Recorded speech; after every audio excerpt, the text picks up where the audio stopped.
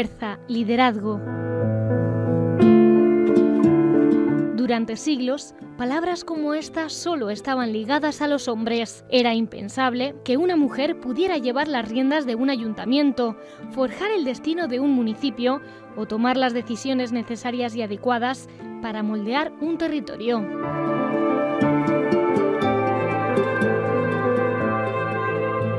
Hoy en día, mujeres como las que vamos a conocer en este programa demuestran con creces su capacidad de esfuerzo y sacrificio y su buen hacer a la hora de coger el bastón de mando.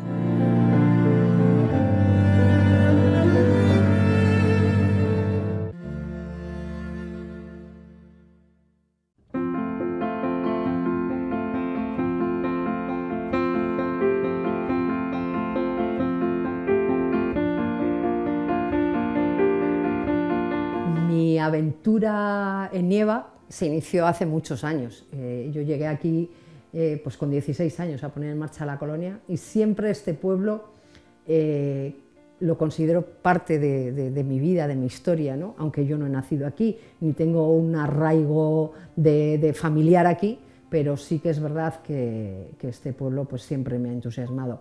De hecho, bueno, pues mi vida política se inició en Logroño, yo he heredado de mis padres esa esa preocupación y ese compromiso por lo social, por, las personas y ese compromiso por, intentar dejar este mundo en mejores condiciones de como nos los hemos encontrado. Y bueno, pues eh, tuve una etapa política en Logroño. Eh, las etapas políticas en algún momento se tienen que cerrar. Yo creo que cada persona sabe hasta dónde eh, tiene, puede llegar y tenía muy claro que eh, mi vida y la de mi familia pues iba a ser eh, iba a acabar viviendo en, el pueblo y, viviendo en Nieva. Teníamos una casa y aquí nos hemos afincado ya hace unos años. Eh, primero estuve de concejala de oposición aquí una legislatura y ya a través de la agrupación de electores de Nieva de Cameros y Montemediano nos presentamos a las últimas elecciones y en junio de 2019 pues, eh, salí elegida alcaldesa. La verdad es que con todo un orgullo, con una gran responsabilidad, pero también con una gran lealtad a este pueblo y a esta aldea que, tanto me proporcionan en positivo, porque a veces eh, lo negativo se diluye eh, y en estos pueblos hay muchos problemas.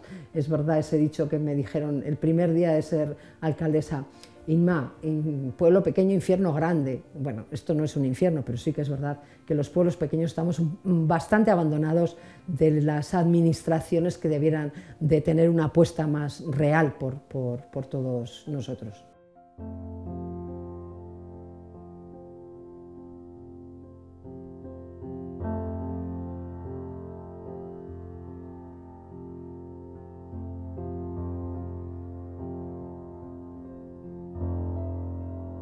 Hoy lo habéis comprobado, lo mismo estás con el enfermero que, em, que, bueno, pues que si toca que alguien viene al pueblo, pues le tienes que acompañar. Procuramos ir al bar todos los días, al menos una vez al día, tomar un caldito, un café o una infusión para que ese, núcleo que determinamos que es el, club social del pueblo, pues tengamos ahí. Y luego, bueno, pues eh, son montones de actividades.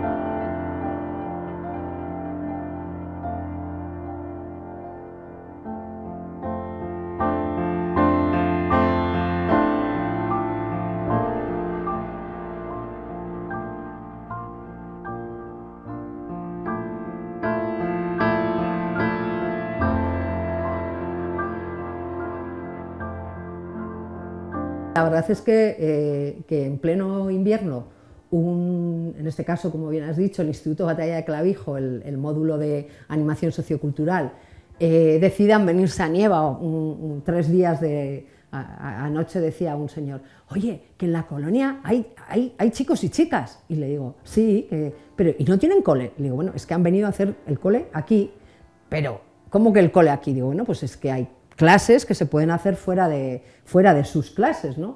y es lo bueno que tiene. Eh, el poder optimizar y aprovechar los recursos que nos dan estos pueblos pequeños eh, sería súper bueno si todos los, tú imagínate todos los colegios y todos los institutos de Logroño o de La Rioja pasaran dos o tres días al año aquí. Sería una gozada.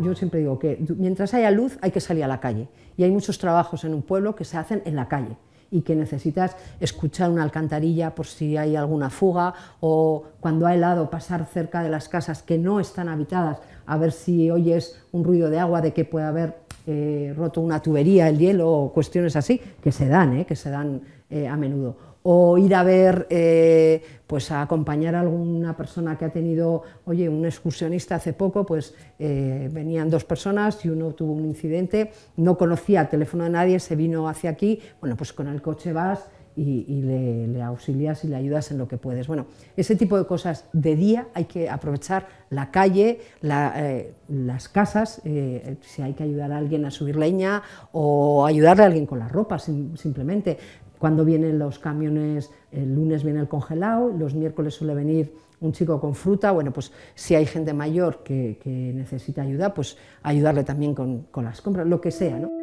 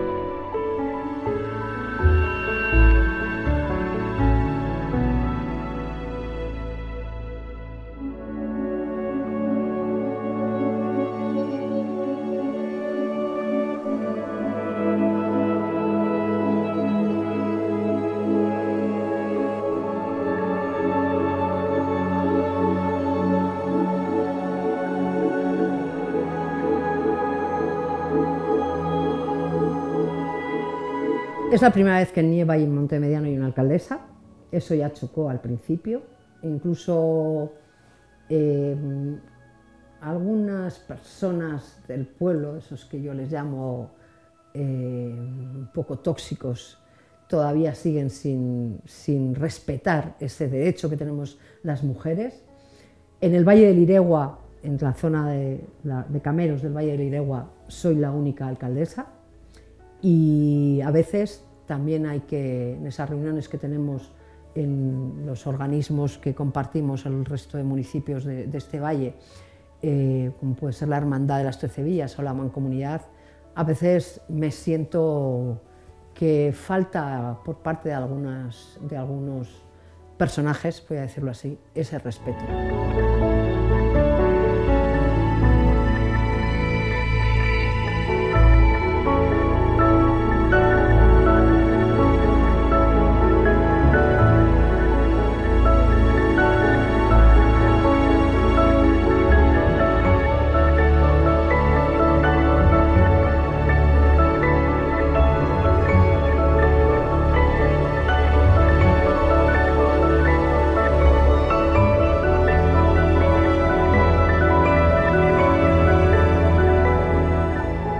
Esos eh, organismos, la Mancomunidad de Servicios Sociales que compartimos todos los eh, ayuntamientos y la Hermandad de las Trece Vías, en algún caso, bueno, ahora ya mm, creo que ya voy consiguiendo, por lo menos a final de esta legislatura, que no piensen que lo que dice esa es eh, alguna tontería, ¿no? cuesta imponerse, lo que pasa es que yo también tengo carácter y, y al final pues tienes que de vez en cuando Alguno me ha dicho alguna vez, oye, a mí no me chilles, digo, ya, pero déjame hablar, porque es mi turno. Entonces, bueno, y yo creo que al principio pensaron que, bueno, pues que yo me iba a chantar y que al final, bueno, esta que viene aquí, Pero no, no, no, creo que es importante. Y creo que es importante la visión de la mujer en, en estos ayuntamientos pequeños.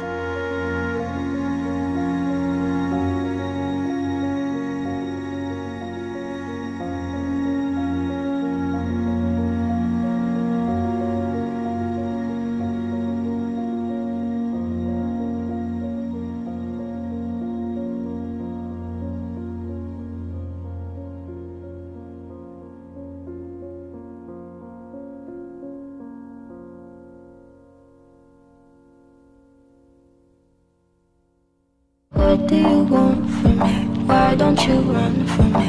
What are you?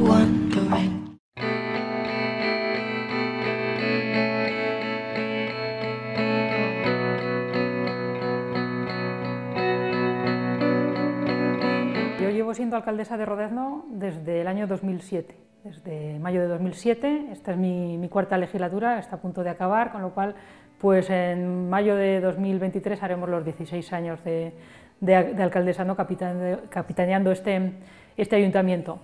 Y yo creo que no es que me naciese o me naciera la, necesidad o la, afición de ser alcaldesa, yo creo que nací con esa, con esa afición.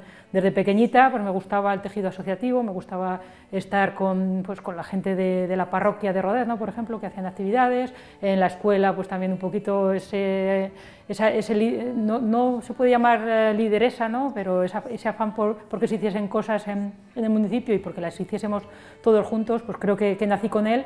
Y luego, pues eh, una vez que acabé mis estudios y ya empecé a trabajar y vi que, se vivía bien en Rodezno y que yo podía ser una parte más, una parte importante para que en Rodezno se viviese un poquito mejor y se conservasen por los, los, servicios y la, y la, forma de vida de, de este municipio, pues eh, di un paso adelante, eh, animado y acompañada por muy buenas personas a las que les tengo que agradecer mucho y oye, hasta aquí.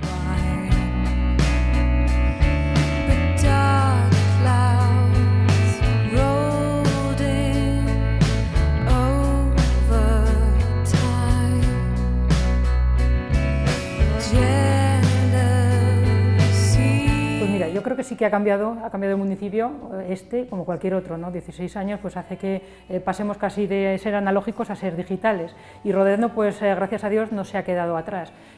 cada uno hemos puesto nuestro granito de arena y hemos conseguido pues hacer pueblo. ¿no? Pueblo lo hacemos las personas, no la alcaldesa ni el ayuntamiento, sino que todas y cada una de las personas que viven en este pueblo, los que vienen los fines de semana, los que vienen en verano, los que vienen a visitarnos y yo creo que esa es la mayor hazaña, ¿no? la mejor obra que, que, que he hecho, o que yo creo que hemos hecho en este ayuntamiento en estos últimos 16 años es hacer que el pueblo se sienta pueblo y que estemos todos juntos y que rememos pues porque queremos un futuro.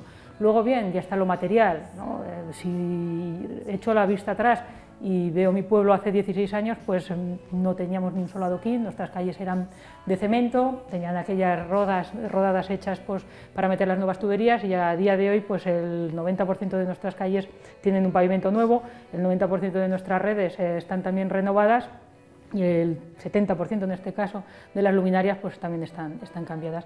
En lo, en lo, material también hemos conseguido pues, tener un espacio multiusos que, que utilizamos para, el día a día de, nuestras personas, no solo para las fiestas, que esa fue la idea principal, ¿no? de poder hacer el Día San Sebastián, que nuestro patrón es en enero, lo cual pues, necesitamos siempre un, un espacio con, con tejado y con calefacción, sino para el día a día, porque si ahora cogemos y nos vamos a dar una vuelta por Rodezno, veremos que hay actividades allí, en ese multiusos, que están eh, por las eh, personas mayores haciendo memoria, los más jóvenes y menos jóvenes en, el gimnasio, otros por leyendo un libro en la biblioteca. Eh, creo que hemos hecho lo que empezaba al principio, que hemos hecho pueblo haciendo vida, pues hemos hecho obras que también ayudan a que sea más fácil realizar esa vida.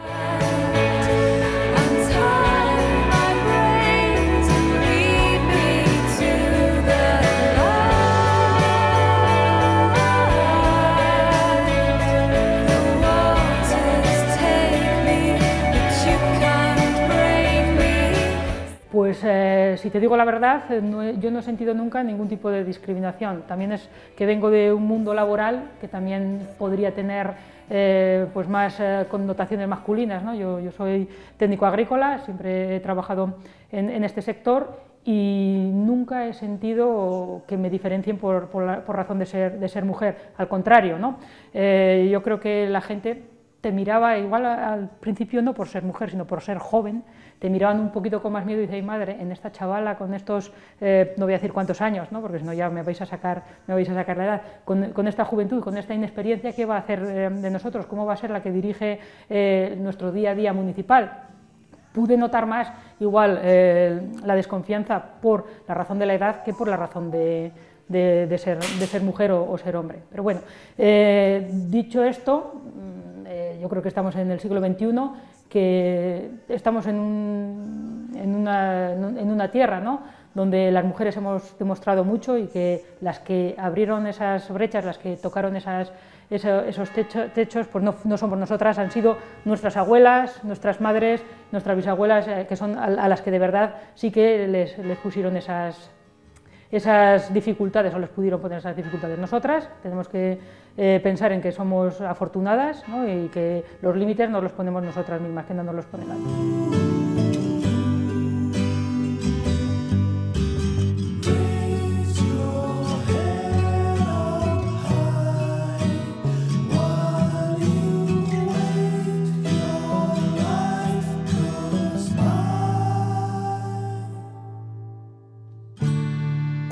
Pues tiene que tener, eh, tiene que saber que es alcaldesa de todo el pueblo. Me da igual alcaldesa que alcalde, de verdad. ¿eh? Tiene que saber que está haciendo eh, políticas, al final, aunque sean municipales, son políticas que tienen que servir para todos.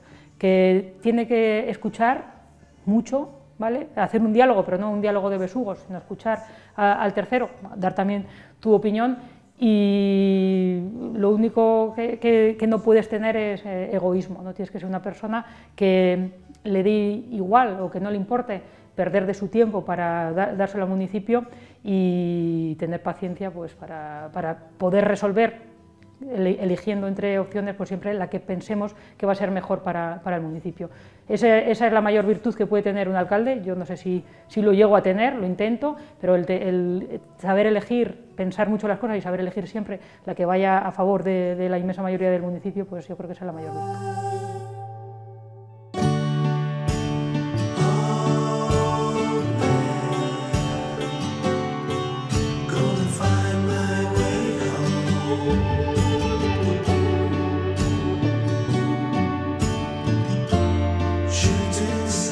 Pues bueno, depende de si es verano o es invierno, no tienes más o menos que hacer, pero yo, pues eh, de momento, eh, lo, que hago, lo primero que, hago es madrugar, eh, madrugar mucho porque por las mañanas se aprovecha más para trabajar. Yo trabajo pues, a 45 minutos de, de Rodezno, con lo cual pues, intento que todos los días, a más tardar las 7 de la mañana, estar ya cerca de mi trabajo. ¿Para qué? Para poder volver cuanto antes ¿no? y cumplir, cumplir con, con mi municipio. Yo normalmente los lunes a mediodía sí que cumplo con el ayuntamiento, ya sabe la gente de Roderno que desde hace 16 años si aparece por el ayuntamiento un lunes a la una, pues la alcaldesa va a estar aquí, le va a atender y va a intentar eh, pues, eh, solucionar, si se puede, o tomar nota de, las reivindicaciones o los problemas que tengan. Y el, resto del día, pues eh, esto es un pueblo pequeño, al final la comunicación es sencilla, si se ha fundido una farola, me lo van a decir pues, luego cuando, cuando vaya a tomar un café, o si hay una fuga de agua, pues también el personal del ayuntamiento lo, va a detectar. El, día a día, de, una, de, mi día a día como alcaldesa, el más intenso es el lunes, porque tengo esa obligación que me he puesto a mí misma ¿no? de atender, el resto de días pues yo me marcho a trabajar, vuelvo, vuelvo de trabajar y es eh, un 24 horas al teléfono, 24 horas eh, presenciales, el fin de semana estar a disposición. ¿Problemas? Pues siempre te encuentras problemas, ya has tenido que decir que no a muchas, a muchas personas, a otras habrás hecho cosas que, que no le gusten, pero vamos, el día a día como el tuyo en, en tu trabajo. Madrugar, trabajar, cumplir con tus, con tus quehaceres e intentarlo hacer lo mejor posible.